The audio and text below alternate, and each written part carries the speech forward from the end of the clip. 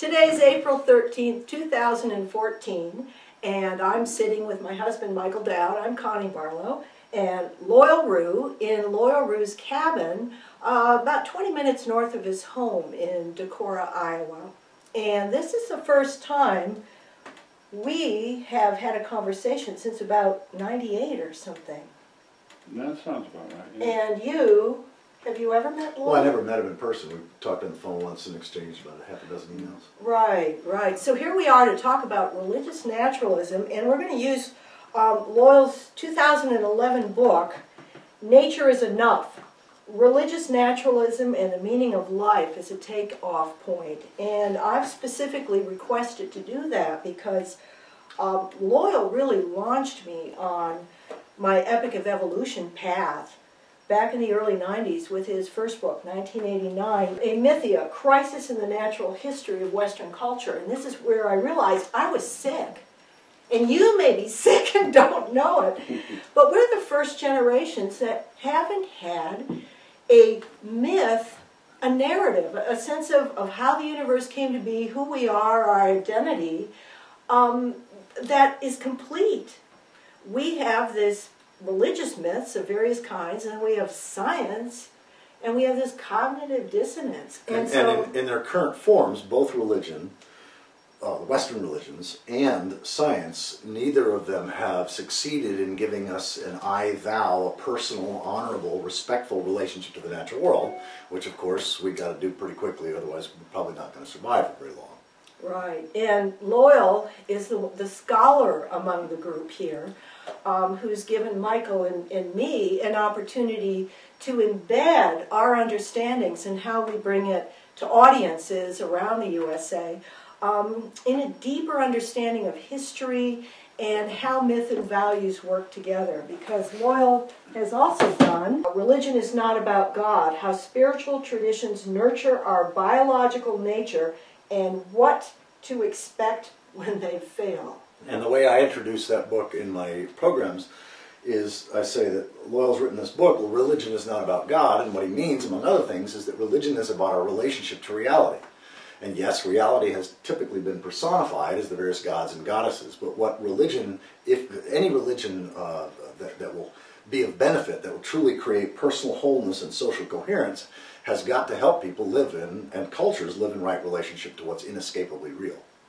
So all of us here, sitting here, now feel that we have that. We have fully embedded a scientific cosmology into our beings such that we have, putting in Loyal's terms, personal wholeness for dealing with suffering, uh, maintaining hope in personal and societal crises to some extent, um, and also social coherence, where we realize that each of us has to play a role uh, at the age that we're at, we're in a position to do so, uh, to try to help bring this coherence into our culture such that we can systemically move through uh, primarily the environmental ills of our time, which other cultures haven't had to deal with at a global level.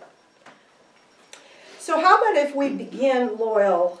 Uh, you chose this title, Nature is Enough. Actually, didn't somebody commission you to write a book as a response to Jack Haught's book, Nature is Not Enough? Well, Well, he- actually, no. Here's, his, his, his book was called "Is Nature Enough?" Question mark. Yeah, is nature enough?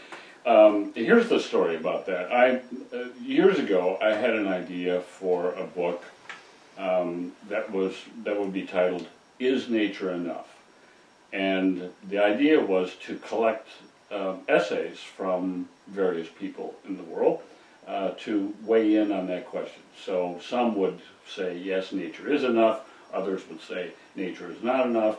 And the idea was that a book like that, a conversation about whether nature is enough, uh, could start some further conversation and, and make, uh, make this a, a more public issue. Um, and so I put together a, what I call the wish list of flashy thinkers, uh, at the top of which was uh, Stephen Hawking.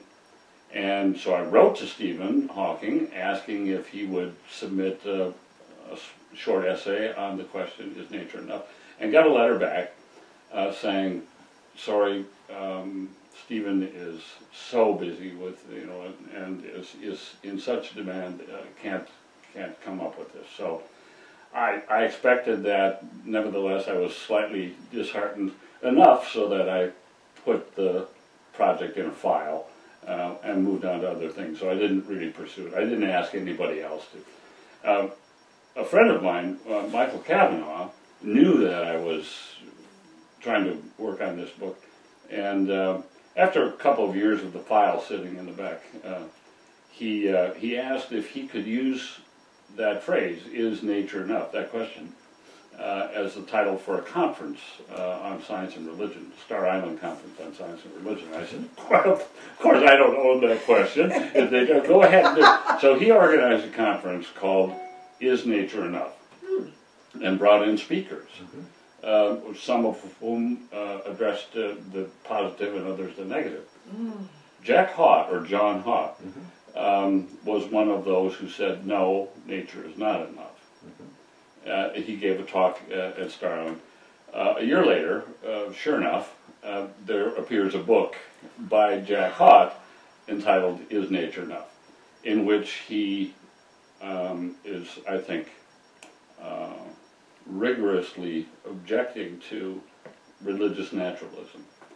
So I thought, okay, uh, that has to be answered. So one of the things motivating this book is uh, an attempt to to uh, to answer Jack Haught.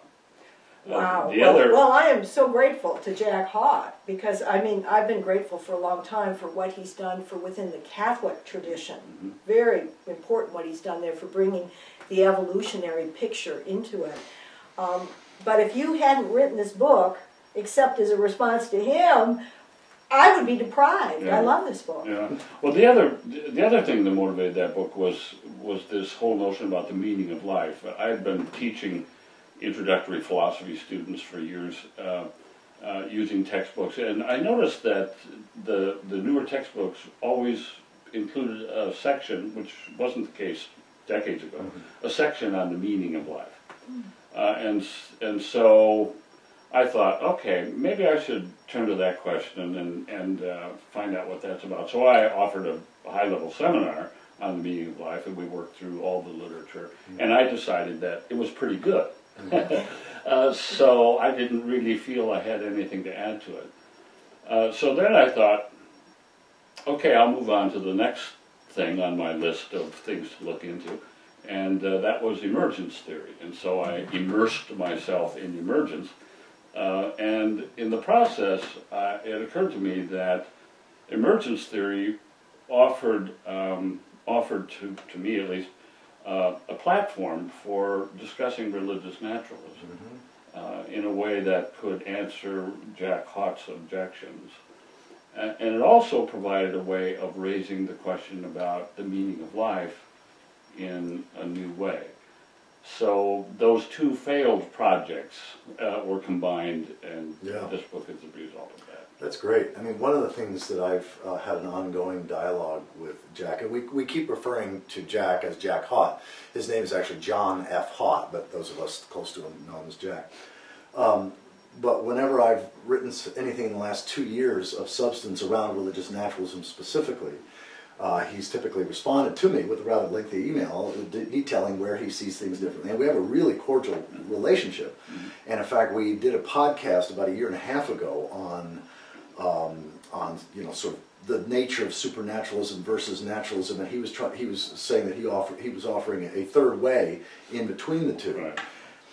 But um, I find that it all it entirely depends on how you define nature or how you think about nature. If if you think about nature as a just this material, mechanistic, uh, uh, almost like a clockwork universe metaphor, then of course nature is not enough if that's the way you think of nature, at least for somebody who's religious like Jack and, and other oh, many different religious people. But if, as I do, I think of nature as a secular word that we today use that wasn't used two or three thousand years ago. There was no word, the Hebrews didn't have a word called nature. And much of what we mean when we use the word nature was encompassed in what they meant when they said Yahweh. Mm-hmm. And so the idea that, you know, that's why I, I think the same thing with the word the universe. I was talking to Connie this morning about this It's like the idea that did God create the universe, like as if that's a debate, is like is it's almost as goofy in my mind as saying did Uncle Sam create the government, and like debating whether that's a real question or not, because what we mean by universe cosmos or whatever is, is what often was, was meant by ancient peoples when they used divine words. They personified reality, either some aspect of reality or the whole thing. So I, um, uh, obviously, I find myself, as a religious naturalist, I find myself um, ever groping for more inspiring ways to talk about this evidential, ecological, Right, evolutionary right. worldview. Um, and my challenge or my my rejection of what what I sometimes say to audiences is if somebody has any particular, any one religious view that gets them to the place of personal wholeness, social coherence, e- and, and, and inspire them to live in an ecologically integrous way, I'm fine with whatever metaphysics or theology gets them there. I only object when somebody says they need, that one need to have a uh, otherworldly or supernatural worldview, that there's some requirement. And I would be, and all three of us would be living examples that no, you can get to all the benefits, the emotional, psychological, and social benefits that religion or any worldview, otherworldly or spirituality or whatever, gets you to from a purely naturalistic, evidential, ecological. Uh, You know, I think you're right that, that a lot depends on what people mean by nature. Uh, and I've found, uh, maybe you found the same thing, that um, when I encounter people who insist that nature is not enough, and if the conversation goes any further, it eventually comes out that their view of nature is quite impoverished. Nature is just, is just stuff, and, and I like to call that the, the grunge view of nature, where nature is just stuff, uh, just completely uninteresting and inert Yes, yes, and yes. passive stuff, and it becomes interesting only when the laws of nature are imposed upon the stuff, or the Word of God is imposed upon the stuff. So the interesting part is not nature, uh, but the the supernatural, or the uh, or the the natural laws that come from who knows where uh, to whip nature into shape.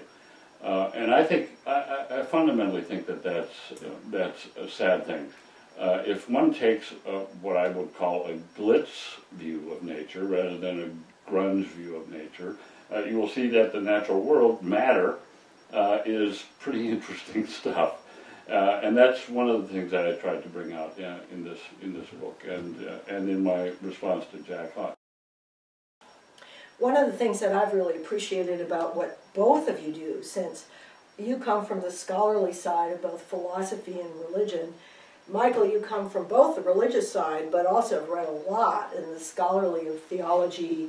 Um, I start with the science. I am just a concrete literalist when it comes to a lot of this stuff. And so when I hear or see a theologian telling, saying that someone who views the universe and doesn't have something higher than that can't possibly be fulfilled. Let's say someone who says you have to believe in some sort of immortality in your life, your beingness, in order to be fulfilled.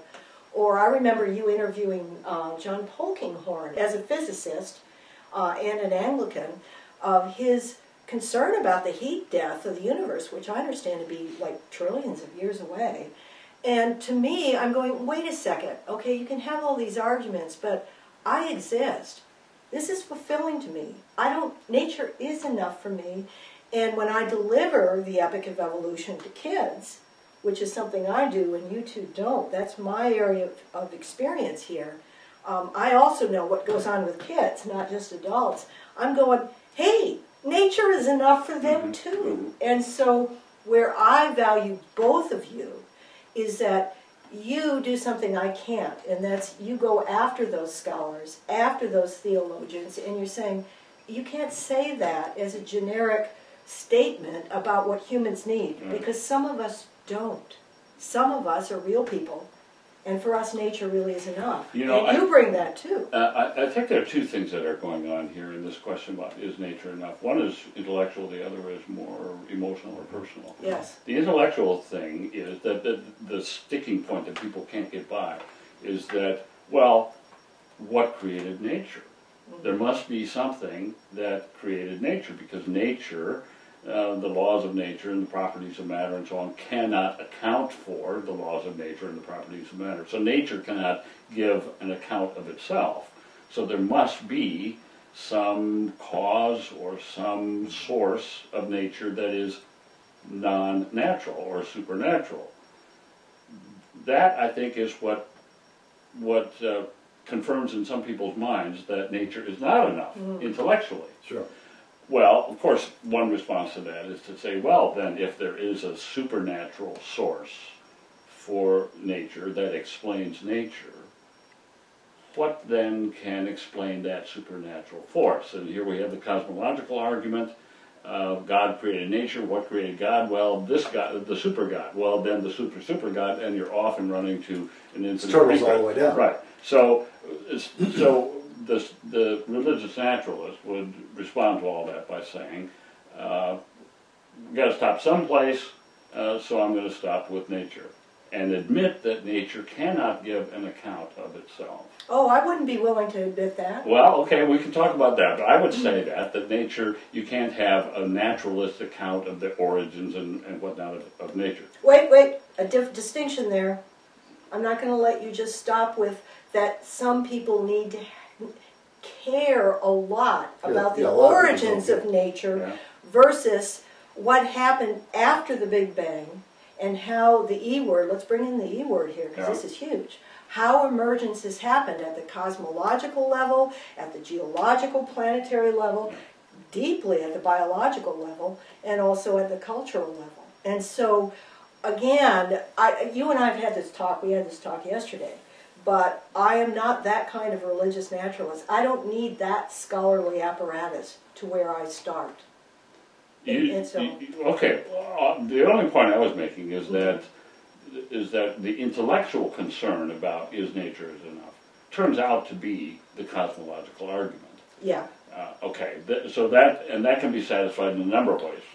Um, my way of satisfying that, that lost cause of infinite regress is to say, okay, I just accept that nature is the case, that the natural world is the case, and its supernatural origins or where nature itself came from is something I'm not going to try to answer. But then there's the emotional part uh, that nature is not enough because it seems to a, a lot of people that uh, the natural world, which is presented to most of us in terms of contemporary modern science, um, is is not sufficient to address our spiritual needs. Well, I think it is, um, and of course, the work that you guys are doing and a lot of other people are doing is to try to uh, demonstrate in what ways uh, nature can be spiritually fulfilling. Jack Haught's argument is that uh, religious naturalism is intellectually um, implausible and emotionally or spiritually unsatisfactory. And that's Um, And it is you, for him. right for him. And you in this book show that it isn't. Well, I tried to, yeah. And, and, and the fact that we are living examples here of relatively intelligent, you know, experienced human beings, I mean, this is evidential that nature can be enough for the Mhm. human intellect Mhm. because the three of us are sitting here. We Mhm. have different ways of doing it, Mhm. but that's evidence. Well, yeah, and my, I mean, I, I would even go a little bit beyond, uh, you know, I, I like the grunge versus glitz, uh, or glitz uh, views of nature, but for me, I have a divine view of nature, that what we call nature, the ancients called God, or at least any God that only transcends nature is less than a God that, a concept of God that transcends and includes nature. When I speak to mostly religious audiences, what I'm trying to do is offer not sort of debating these philosophical issues that you can, you know, I'm not interested in that. I'm more of a pragmatist. It's like, okay, what can we agree on? Uh, and I think one of the things we can agree on is that there's something wrong, whether you call it sin or whatever you want to call it, but there's something wrong by betraying future generations, by living in the present moment in such a way that future generations can't enjoy a quality of life. So that if we can start there, then saying that whatever else you may think of in terms of how you think of God is nature enough, is God the same as nature, is that pantheism or panentheism, all the different Godisms. Screw all that. Let's all set that aside and say, okay, can we agree that it's a morally positive thing to do to live in right relationship with the air, water, soil, and life upon which we depend, and it's immoral to not do that. And let's find those places of agreement because, frankly, I don't think we've got enough time uh, to battle the philosophical and theological and metaphysical issues. We've got to figure out ways to cooperate across ethnic, religious, political, philosophical differences to work together to do what we can to ensure a healthy Right, future. and that's your job. That's why Michael goes into Christian churches. I go into Unitarian churches, and you pretty much stay with colleges.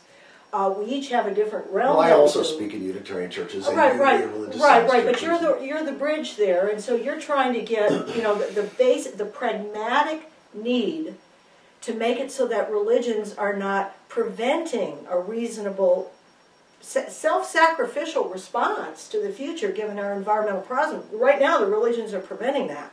So you know you're working on that. But what this video about here is really for people who are already either persuaded by re- religious naturalism, who are toying with it, and want to get from us our sense of what it does for us, religious naturalism here. In some ways, it must be frustrating when you address audiences uh, and try to initiate a conversation on the near side of metaphysics, to pick up a phrase from, from Ed Wilson. Um, frustrating because everybody has metaphysical commitments. And when you present them with something provocative, in, in the processing of that, they will back into their metaphysics.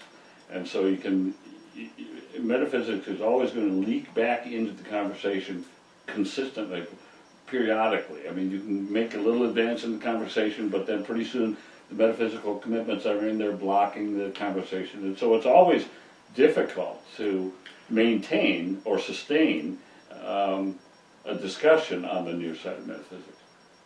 Not with kids. Not yeah, and, No, no, it can- and not and not in my experience. I I would, with- I even with I religious think, I think kids have metaphysical commitments.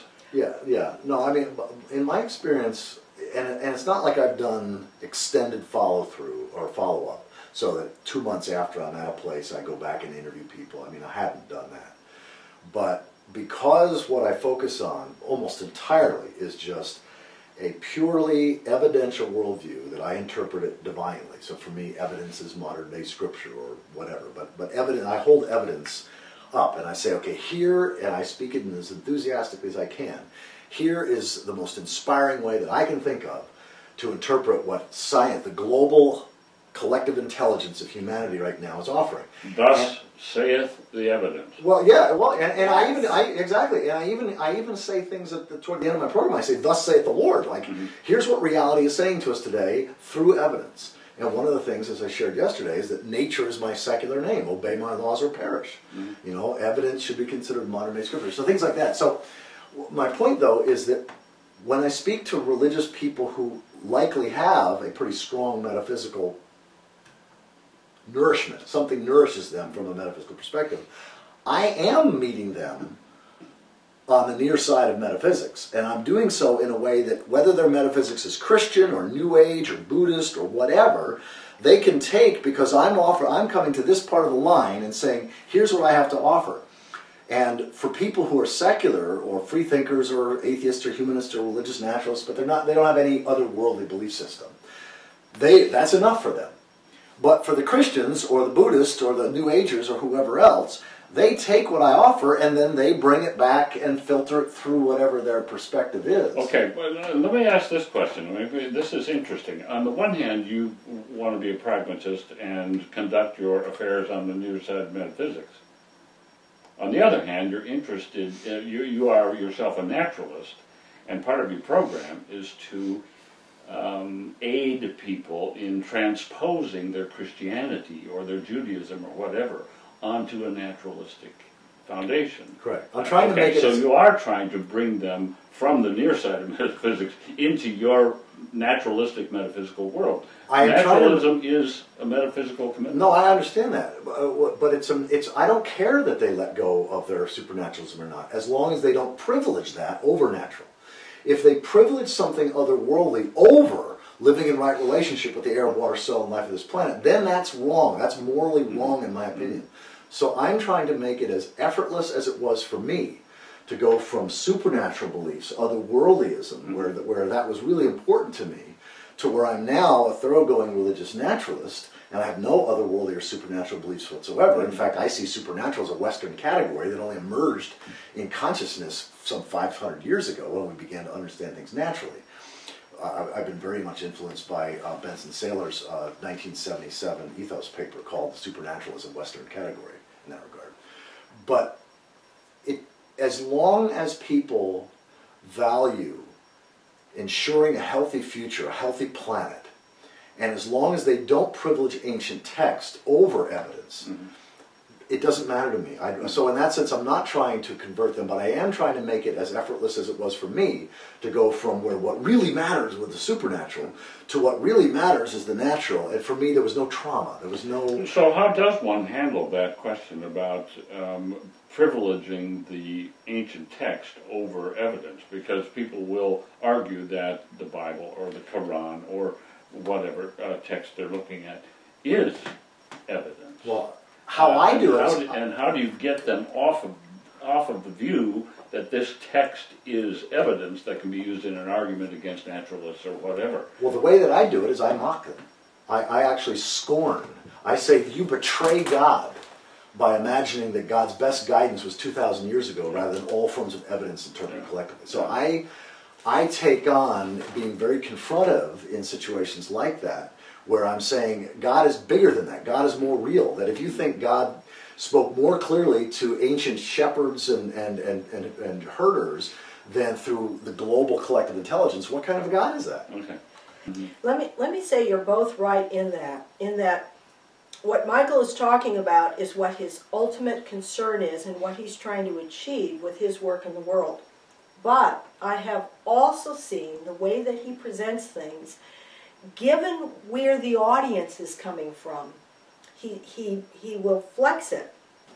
And I have also seen him actually achieve in even a sermon sometimes, but usually in a longer program, someone coming in where their supernatural metaphysical beliefs are just accepted, they've been a part of their life, and by the end of his program, they're willing to give those up. Mhm. So, yes, I think he does both. On the one hand, he is trying to have more people become religious naturalists and become excited by it and see that nature is enough.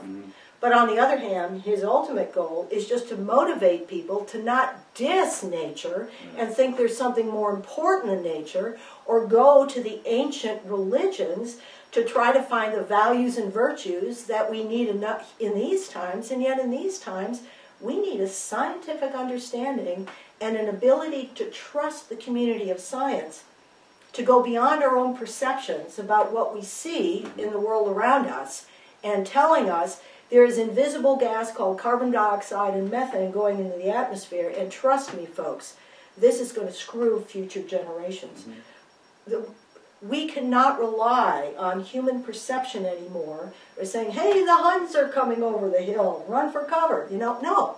This is big.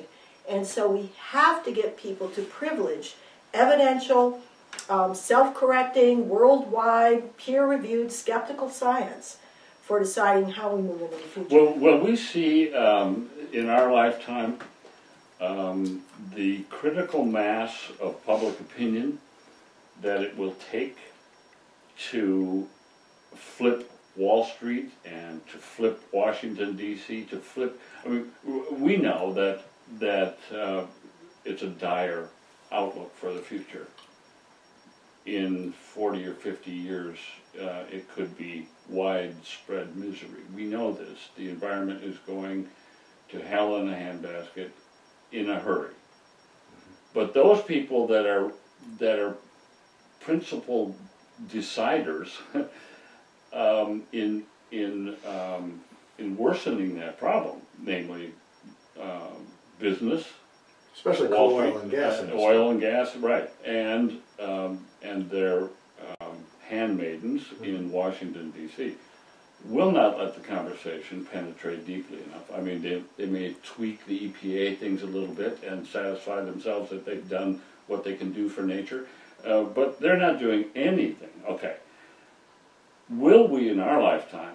I think it'll happen in the next five years. will we experience uh, enough critical mass in public opinion to really put the pressure on, on Wall, I, I say Wall Street and Washington DC just, uh, Yeah, I think it'll happen in the next five years. But what's fascinating is that you would ask the question, and what you're demonstrating is the consistency of your philosophical underpinnings. It's always this deep philosophical questioning.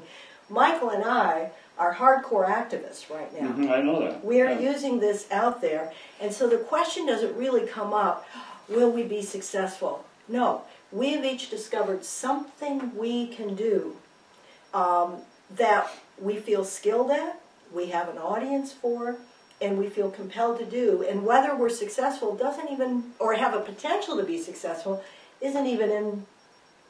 It, it isn't. It's more of a Buddhist thing. Right action. Don't worry. Mhm. Don't even ask Yeah. about whether it's going to come out. Yeah, I mean, my, my fav- my two favorite authors on the topic of sort of the present and likely future are John Michael Greer, who I've read about eight of his books in the last year and a half, and Connie and I read his blog posts, uh, you know, practically every day, his past ones. But also um, Paul Gilding. And Paul Gilding, uh, Tom Friedman at the New York Times said basically if you read one book on climate change, make it Paul Gilding's The Great Disruption. The subtitle is uh, How the Climate Crisis Will Bring on the End of Shopping and the Birth of a New World. He's the former head of Greenpeace. And he's been working with mostly corporate CEOs um, uh, for the last 15 years, as well as some of the, the, the principal writers of the Club of Rome, uh, Limits to Growth, and stuff like that, Jorgen Randers. And he uh, he's got me convinced. His his book, The Great Disruption, I've read three times. I've read once in paper in paperback, and then I listened to it twice. And um, he talks about that it, the, as he and Jorgen Randers and others assess that like a dam, where the pressure on the dam is more and more. And once the dam breaks, the floodwaters are unstoppable. And he thinks sometime between now and 2018, the dam of denial around climate change will break. And when that happens, China, Israel, the European Union, Brazil, the United States, everybody will be mobilized like we were at the beginning of World War II. And he actually believes that we will not we will not tolerate two degrees Celsius. He calls it the one degree Celsius war plan. Mm-hmm. And he and others, major world leaders and people in business, have been formulating now for years, for over a decade, this one degree war plan. So that when the dam of denial breaks, there is no denial anymore, then we can mobilize around this. And I think it will be, uh, I, I really do believe it will be in the next five years. And um, I think it'll be a, a, a kickstart to the economy, which I don't, I, I, I'm not Pollyannish. I think that we've been looking 50 years out, there is going to be, we're not living, living in the same world anymore.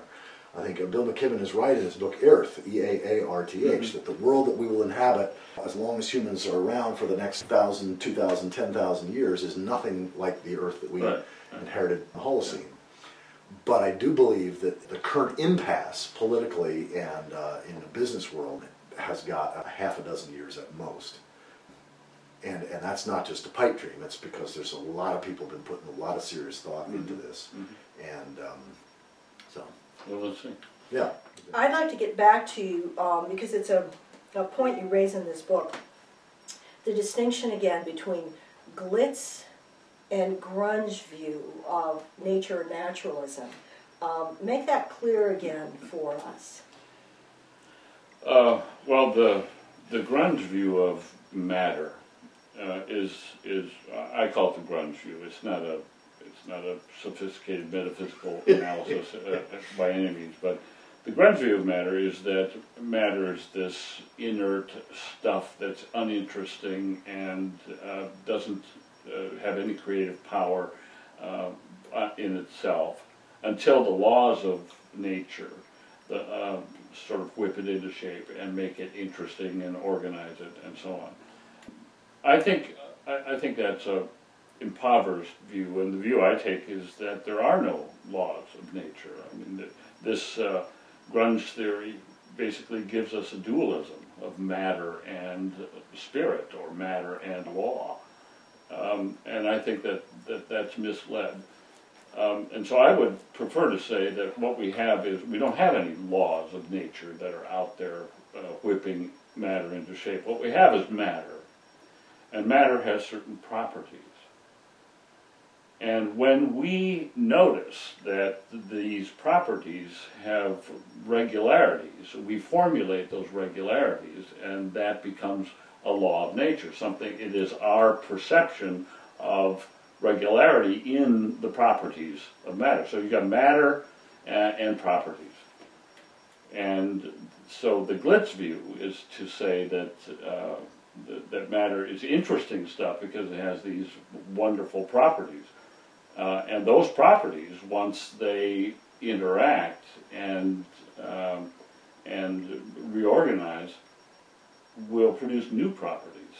And then you get more interaction and further properties of, of matter emerge. Uh, and that's the, the emergence view, uh, which gives us new properties enabling further properties, which enable further properties, and, and so on. And so you get, actually, you get new laws of nature. Uh, so that would be the glitz view. And if, if you take that view, then, then it, it appears that matter or nature is enough uh, if it has that creative potential uh, in it. Well, thank you for that because that's that's an apparatus beneath which I usually work, pretty much as a concrete literalist, someone who takes the science.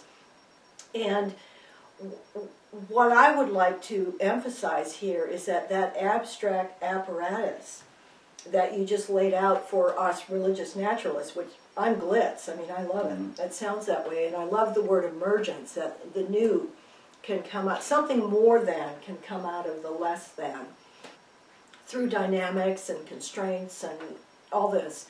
But what I love to think about as a Unitarian Universalist, Thomas Jefferson, our President Thomas Jefferson, just this also incredible naturalist and, and um, someone who worked in all the scholarly realms.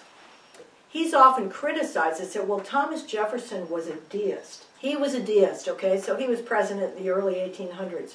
And they said, well, Thomas Jefferson didn't think nature was enough. He was a deist. He thought something came before, something was outside. And I go, let's talk about the history of science here.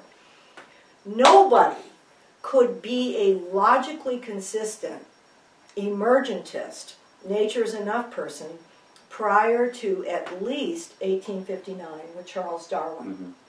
Because there we had the understanding, the first opportunity to move out of a, a presupposition of a mechanistic universe. A designer is the only way you get something greater than the materials that went into it.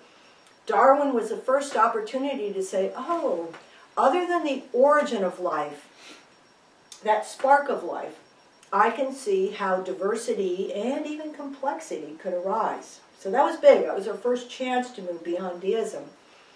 And then when I was in kindergarten, I always talk about this. When I was in kindergarten, so this would be 1957, 58, that's when science came up with the next big discovery that would help the emergentist, nature's enough position, um, have an evidential ground. And that was the understanding for the very first time of how atoms more complex than hydrogen and helium could come into being. Mm-hmm. And that was the notion that inside the ancestral stars that took the big bangs, hydrogen and helium, gravity was enough to be able to move the hydrogen into helium and then the helium squeeze it into carbon and the helium and the carbon into silicon and all the way through. And the red giants and the supernovas making the final amount. And we, we've got nuances since 1958 boom! We had emergence of complex matter. And then in my lifetime, very recently, uh, um, you would know more about the cultural and the and the human realm. But very recently, this is huge. There was always the concern of, well, maybe life is so contingent, so rare. How do we know there's any planets out there? Well, in the last 20 years, Nobody ever thought we would have the perception, the technological tools to do it. And now we've discovered, primarily with Kepler tel- um, telescope, we've discovered statistically not only how many planets there are, but that there are Earth like planets rather common. Mm. And so at every stage of the game, the opportunity to, for nature to be enough has been moving and moving and moving ahead in all realms. And so whenever anyone tries to go back and discuss is nature enough without this understanding of the concrete discoveries of science mm-hmm. and what they've done, I go, wait a minute, let's talk about the history of Yeah, science. yeah.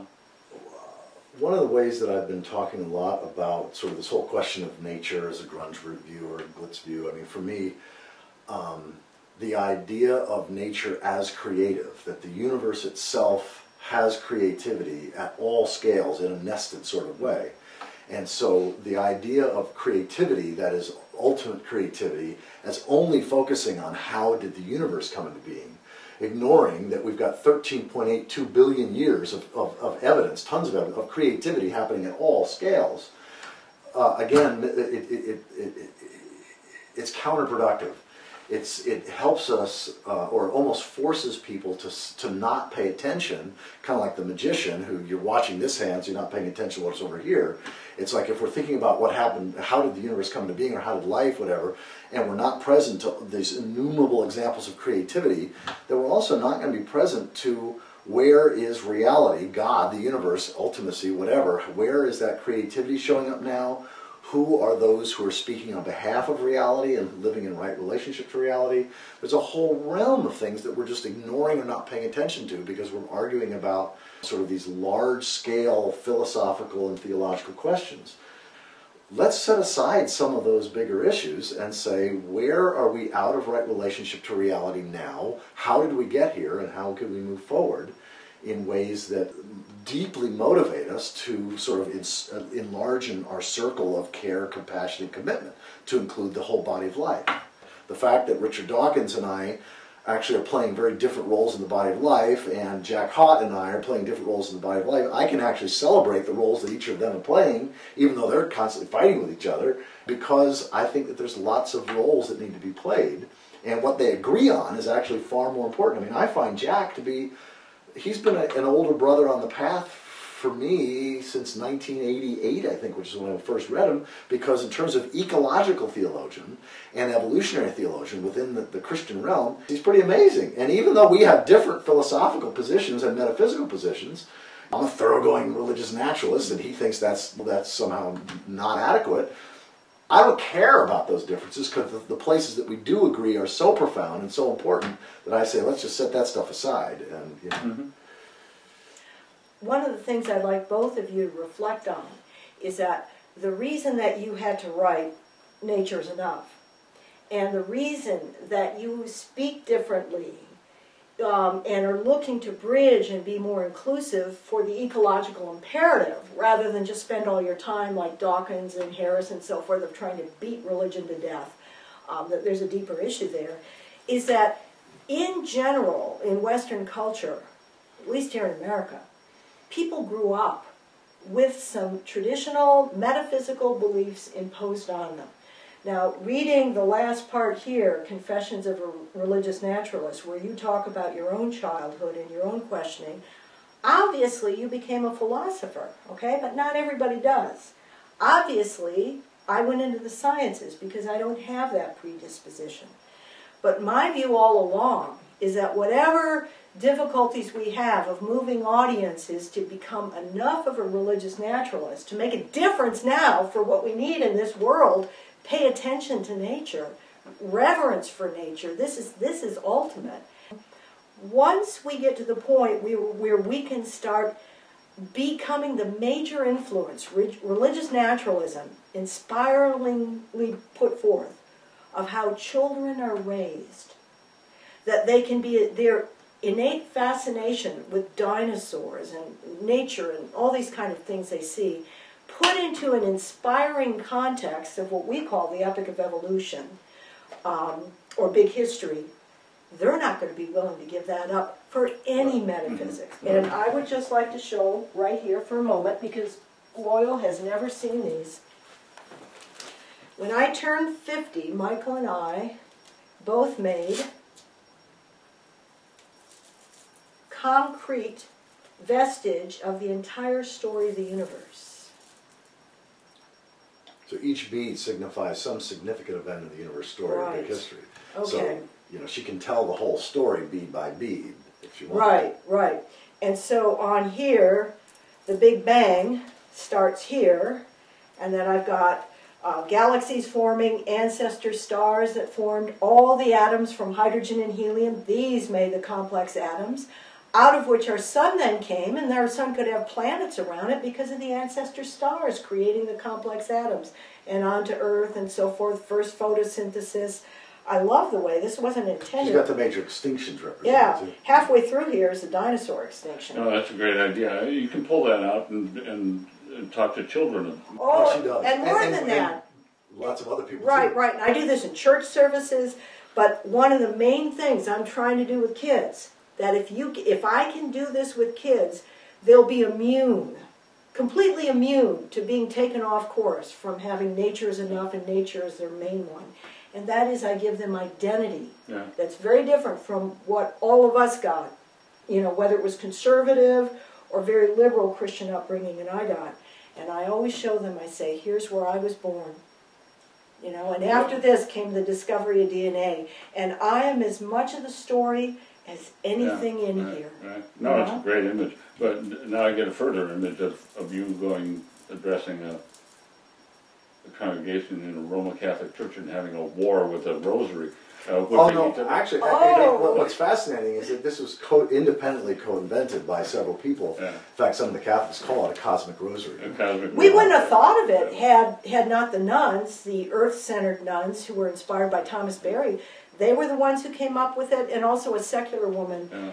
in um, Seattle. And then we just ran with it Yeah. and came. And Let, came let me uh, uh, back up just a little bit. You accused me of being a philosopher as, as, as being some, some That's a sort of- derogatory some statement. sort of alien. In, No, no, in- I need you because I need you to produce this Look, book. I, I don't think there. I don't think not being a philosopher is an al- is an alternative for anyone.